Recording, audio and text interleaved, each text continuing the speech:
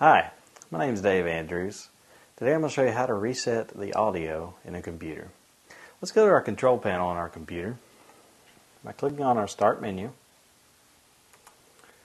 And we're just going to type in the search function in Vista, Control, and then we'll have the control panel as one of the programs it returns.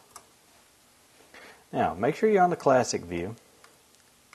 And let's find, scroll down until we find um, sounds. There it is. I'm just going to open up the sound interface. Now this shows you uh, the output capabilities that you have as well as the input capabilities. We're most concerned with our playback as we're trying to uh, restore our audio, and we're concerned with the sounds section. Now what this is listing out is the sound theme that Windows is currently using. You can uh, either choose by default, you can remove all sounds from your um, programs as Windows is running, or you can use the Windows default sounds.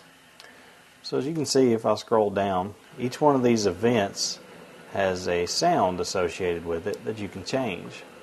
I gotta click on asterisk, and we're going to make sure that this is working by selecting the test button. And I heard that sound as it played, so we know that that sound is working. Now, if, if this if no sound is selected, you won't hear anything in your Windows uh, programs as you use them. But the Windows default will cause these Windows programs to sound when uh, items uh, occur. Now, we also want to make sure that our speakers are outputting data, so we're going to go to the playback um, tab, select the speakers, and then we're going to click on uh, configure, or rather properties, which is down uh, at the bottom. So after you click properties, you get the option to change several things about your speakers. Uh, what we're concerned with is the level. So just make sure that this level is turned up to around the uh, the 90, 85, or 90 percent level.